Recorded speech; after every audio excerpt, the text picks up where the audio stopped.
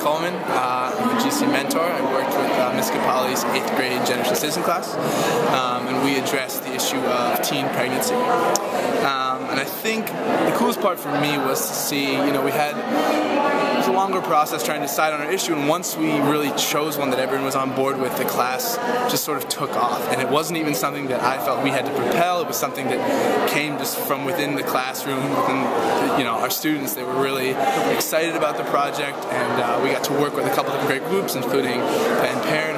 City Arts, um, and you know they created an incredible video. And, and, seeing them, we had an assembly at the school and seeing them in, um, in front of their classmates um, presenting an they really cared about. The, you know, the whole auditorium was silent, and uh, it was a pretty incredible moment to see them talk about something that actually mattered to them. And you could tell there was an effect on the on the students that were listening in the auditorium. You know, that we asked them how many kids would be interested in uh, in health education, and the entire auditorium raised their hands. It was a pretty impressive moment. So I'm I'm really proud of the students and. Uh,